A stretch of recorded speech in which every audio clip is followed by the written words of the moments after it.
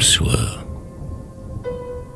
Aussi le sourd qui vient dans la pourpre et l'or, ivre d'amour. C'est l'heure fraîche où se reprend à vivre le peuple enfant, joyeux d'un avenir de nuit. Et toute l'île, sur les rivages, au bruit du vivo, des chansons, des rires assemblés, s'agite folle, bavarde, femmes, tiarées à l'oreille, du pli, du pario tendu sur leurs reins assouplis, torse libre, au ton de bronze et de bitume, et la menthe ardeur se couchant se rallume aux brusques éclairs d'or qui sillonnent leur chair. Le vent de l'éternel été s'endort dans l'air spirale.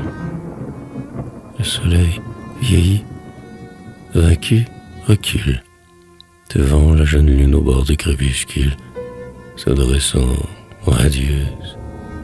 Et leur feu, un moment, sur la crête des flots qui dansent, mollement, s'entrebaisse, et sur la tête solitaire de l'oreille tombe les sommets de la terre. Tout le rideau des bois dérobe tous les yeux la gloire, la douleur, le secret des dieux.